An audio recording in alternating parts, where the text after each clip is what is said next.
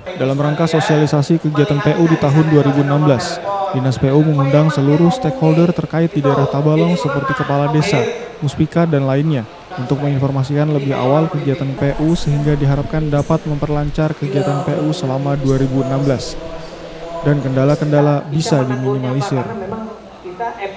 Acara sosialisasi ini diisi dengan pemaparan program kegiatan PU selama 2016 dan dilanjutkan dengan sesi tanya jawab oleh seluruh undangan terhadap program-program yang akan dilaksanakan oleh Dinas PU, baik program yang akan dilaksanakan maupun permintaan program kegiatan yang belum masuk di daftar kegiatan PU tahun 2016 di beberapa daerah di Tabalong.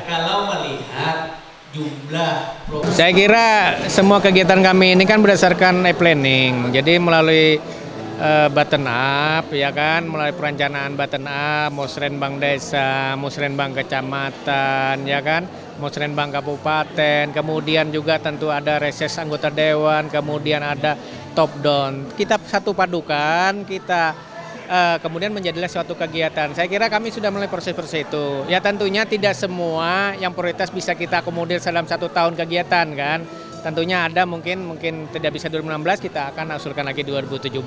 Tetapi pada dasarnya semua kegiatan sudah kita uh, kita catat, kemudian kita masukkan dalam suatu perencanaan begitu. Tetapi kami Acara ini dihadiri oleh Kepala Dinas PU beserta jajarannya, Kapolsek dan Ramil, Camat, Lurah, dan Kepala Desa Setabalong.